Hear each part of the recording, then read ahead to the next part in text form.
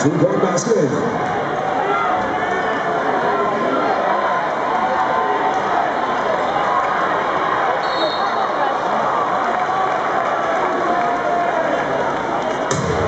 Number 13, Rachel Sharon. Second personal foul.